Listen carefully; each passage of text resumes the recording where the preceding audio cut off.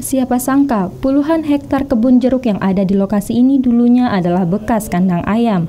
Ya, kandang ini disulap oleh seorang warga desa Barejulat, Kecamatan Jonggat, Lombok Tengah bernama Usman. Usman kemudian merubah kandang ayam yang tadinya kotor dan penuh bau menjadi sebuah kebun jeruk yang menghasilkan pundi-pundi rupiah.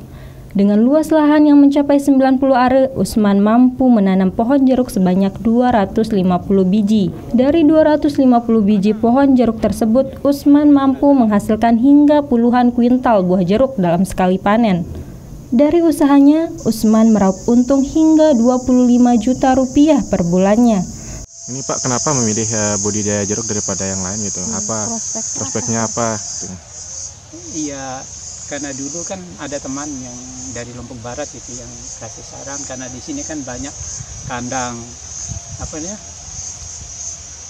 ayam. Nah, kandang ayam di sini kan. Terus ketimbang dia anu tanam aja jeruk ini kotornya bisa kita manfaatkan untuk hmm. apa namanya untuk pupuknya.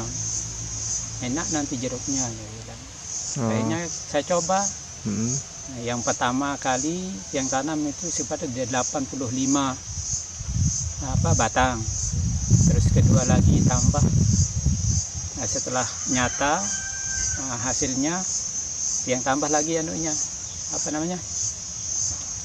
Eh, yang tambah, tambah pohon eh, yang tambah pohonnya berapa 75 hmm.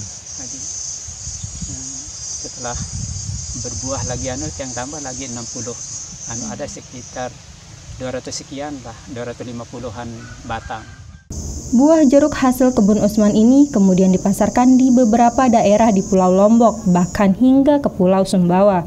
Tak hanya itu, bagi wisatawan yang ingin menikmati manisnya jeruk tersebut, bisa langsung datang ke kebun dan memetiknya sendiri.